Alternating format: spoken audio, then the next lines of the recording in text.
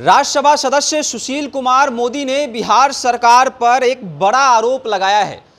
मोदी ने कहा है कि बिहार सरकार जो है वो अपराधियों को बचाना चाहती है। साथ ही साथ सुशील मोदी ने कहा है कि नीतीश कुमार जो पहले थे, वह अब नहीं है।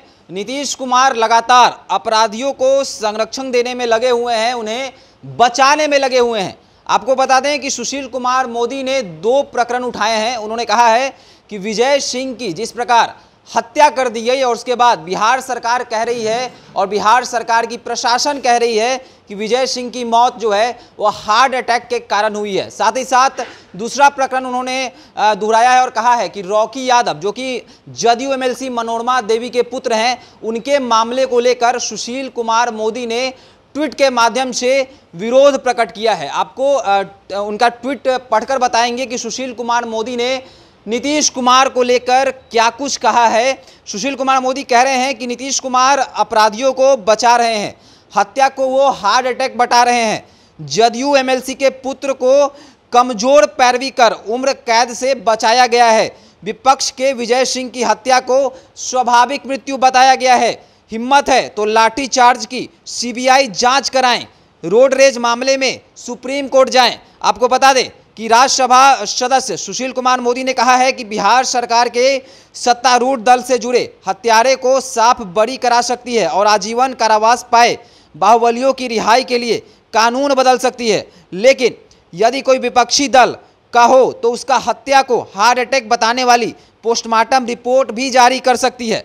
आपको बता दें कि मोदी कह रहे हैं कि जदयू एमएलसी के पुत्र रॉकी यादव को रोडरेज कि चर्चित घटना में आजीवन कारावास की सजा से बरी कराने के लिए सरकार ने हाई कोर्ट में न पुख्ता सबूत दिए, न ठीक से पैरवी की। सरकार बताए कि मई 2016 में आखिर व्यवसायी आदित्य सचदेवा की हत्या किसने की थी? आपको बता दें कि उन्होंने दूसरी ओर कहा है कि विधानसभा मार्च के दिन जब भाजपा कार्यकर्ता विजय सिंह की मृत्यु लाठीचार्ज से हो गई, तब सरकार इसे हार्ट अटैक बताने में क्यों लगी हुई है?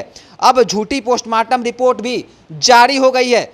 आगे सुशील मोदी कह रहे हैं कि घटना के थोड़ी देर बाद ही जब पुलिस और सत्तारूढ़ दल घटना को हार्ट अटैक बताने लगे, तब किस मेडिकल ऑफिसर की हिम्मत थी कि सरकार की राय के विपरीत पोस्टमार्टम रिपोर्ट देते? तो उन्होंने कटाक्ष किया है साफ़ तौर पे। बिहार सरकार पे उन अधिकारियों पे भी कि बिहार सरकार के मिली भगत के बाद जो है अस्पताल प्रशासन ने हार्ट अटैक जो है करार दे दिया। आपको बता दें कि उन्होंने कहा है कि नीतीश सरकार की अगर हिम्मत है तो रॉकी यादव का जो प्रकरण है, उसे सुप्रीम कोर्ट में ले जाए। आपको बता दें कि मोदी ने कहा है कि जहरीली शराब से मौत और हत्या तक को स्वाभाविक मृत्यु साबित करने का जुगाड़ किए बैठी है बिहार सरकार।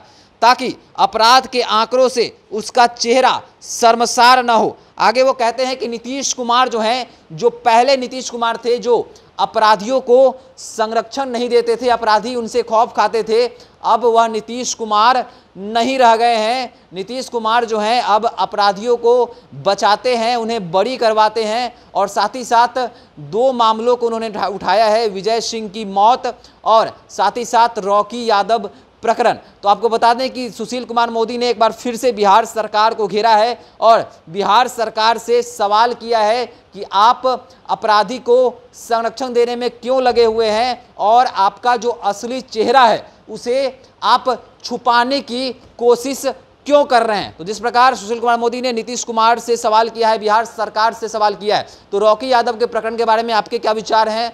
और या फिर विजय सिंह की जो मौत हुई है, उसको जो पोस्टमार्टम उसका जो पोस्टमार्टम रिपोर्ट आया हार्ट अटैक बताया गया है, उसके बारे में आप क्या सोचते हैं अभी हमारे कमेंट सेक्शन में बता सकते हैं। देखते रहते बिहार टॉप धन्यवाद।